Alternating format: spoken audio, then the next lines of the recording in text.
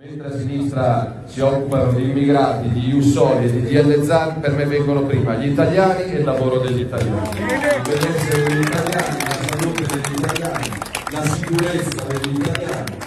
E quindi il 3 ottobre anche a Chianciano, come in altri 30 comuni fra Siena ed Arezzo, si sceglierà un nuovo parlamentare, però io ricordo, e ci metto 30 secondi e poi non la faccio lunga, e ascolto volentieri voi, stringo due mani e faccio due foto, però tenete presente il perché ci sono migliaia di cittadini fra Siena e Arezzo che il 3 ottobre vanno a votare. Ve lo dico io in 30 secondi perché la televisione non penso l'abbia mai raccontato. Però tenete presente che si va a votare per eleggere il parlamentare di Siena perché si è dimesso quello che era stato eletto parlamentare di Siena.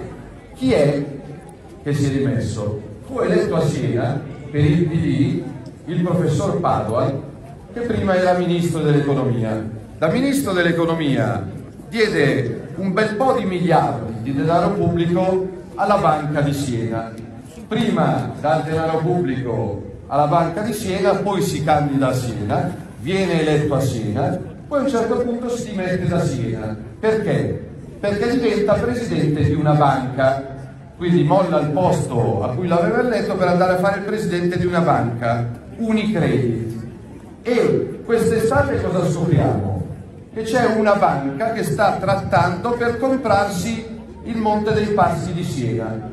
E sapete qual è questa banca che sta trattando per comprarsi il Monte dei Passi di Siena? Unicredit che è la banca per cui è diventato presidente l'ex ministro del PD eletto a Siena, che molla Siena per andare a fare il presidente della banca, che adesso sta trattando per comprarsi la banca dei senesi, ma sarebbe un acquisto un po' strano, eh, perché sarebbe uno dei pochi acquisti al mondo in cui chi compra, quindi in questo caso Unicredit che compra la banca di Siena, invece di pagare per comprare la banca, viene pagato 5 miliardi di euro pubblici per portarsi a casa una banca, che non è una banca, è la banca più antica del mondo. Quindi la Lega ha candidato un senese e non un pisano a Siena per dire che per noi ogni posto di lavoro del Monte dei Passi di Siena è sacro e non si tocca. Non si svende la storia di Siena, il risparmio di Siena. Bravo! Bravo! parlano come se nulla fosse a sinistra, sì, forse nell'operazione di svendita del Monte Passi a Unicredit rischiano di saltare 6 o 7 mila posti di lavoro. 6 o 7 mila posti di lavoro. Sindaco, quanti abitanti fa diciamo? 7 mila. Ecco, calcola che con, con una firmetta avvallata dai signori del PD, dalla sera alla mattina una città come Chianciano, piena di lavoratori e lavoratrici, sparisce ma nel momento del Covid vi pare normale cancellare con un tratto di penna migliaia di posti di lavoro? No, per me il lavoro è sacro e ve lo dico già adesso per eh, l'inverno, se lo stesso PD di Letta che si candida qua a Chianciano a Siena vorrà cancellare quota 100 per tornare alla legge Fornero, noi faremo le barricate perché alla legge Fornero non si torna. Perché con le pensioni non si piuttosto andiamo a togliere il reddito di cittadinanza ai troppi furbetti che prendono il reddito di cittadinanza per darlo ai lavoratori pensionati che portano a casa 300 euro al mese. Quindi è questo, non la faccio lunga, è un bel lunedì, è il primo lunedì di scuola per tanti bimbi, tante bimbe, tanti ragazzi e quindi da papà sono felice che si torni alla scuola in presenza e ringrazio maestri e maestre che fanno un lavoro straordinario e quindi noi di questo ci occupiamo, scuola, salute, lavoro, difesa dei posti di lavoro, difesa delle pensioni e anche, permettetemi la chiusura, sicurezza.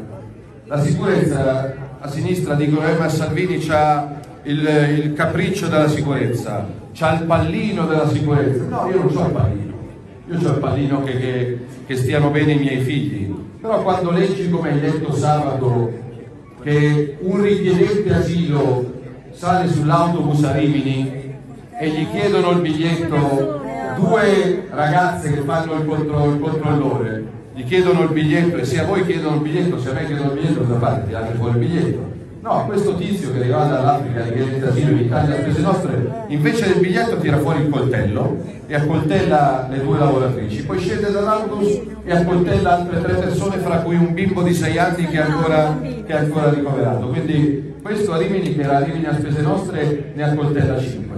L'altro a Napoli, altro clandestino pregiudicato, eh, accoltella una signora per rubarle la borsetta. Quell'altro eh, marocchino pregiudicato a Spezia aggredisce una turista di 24 anni cercando di stuprarla. Ecco, non è il capriccio di Salvini. Gli immigrati per bene sono i benvenuti, ma migliaia di balordi clandestini devono tornarsene a casa loro dal primo all'ultimo che l'abbiamo restato le